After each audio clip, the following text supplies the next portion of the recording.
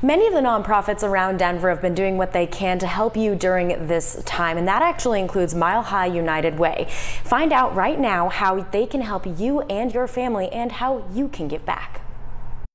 Let's go ahead and start off right off the bat here with you telling us more about Mile High United Way and the statewide 211 Help Center as well. Sure. Mile High United Way's community programs focus on the immediate and long-term needs of residents in our most under-resourced neighborhoods. So we fight for the education, the health, and financial security for all.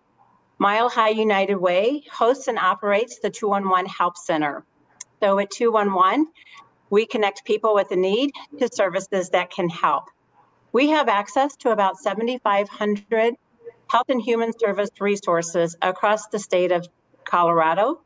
We, Mile High, operate the largest 211 in Colorado. Our 211 serves 25 counties, which equates to about 71% of the population. Wow. Oh my goodness, that's incredible. And you guys are doing so much right now, too. We heard earlier that the 211 program has actually received more funding because of what's happening right now with COVID. So, has the number of calls that you guys have received gone up since then? Absolutely. So, at the request of Governor Jared Polis, and as a result of resources that were granted by the state of Colorado, we were able to expand our 211 center so that we could help better connect those who have been impacted by this COVID 19 pandemic to vital resources. We know that people whose jobs, childcare, transportation, food, housing, access to basic needs, they've been impacted. And so you can uh, reach 211 Monday through Friday, 8 a.m. to 5 p.m.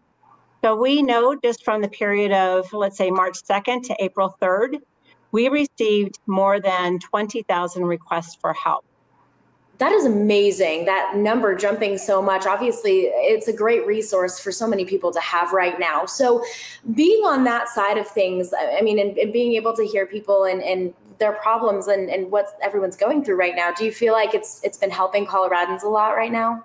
Oh absolutely. Absolutely. Again 211 we're that first stop for help. When you don't know where to go contact 211 you can it's easy to reach us. You can simply dial those three digits, 211. You can also text your zip code to 898 211.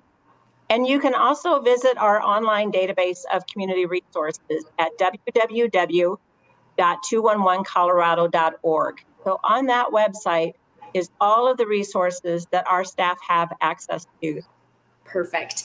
And in our last minute here, we want to see too, for all of those people at home watching that want to get involved, is there a way that they can uh, get involved with 211 or with Mile High United Way in general? Absolutely. So we do have several volunteer opportunities. Um, and that includes some virtual volunteer opportunities where you can make a donation to help more people who have been impacted by this uh, pandemic. So we would encourage you to visit unitedwaydenver.org for more details and information about how you can help. Awesome. Thank you so much, Stephanie, for taking the time out of your day. We really appreciate it. And then, of course, for everything that you're doing to help through these difficult times right now. Well, thank you very much. We appreciate it. Well, to learn more about how you can help or get help, head to unitedwaydenver.org. Their 211 Help Center is open all hours for you. Now get that support you need from local people you can trust.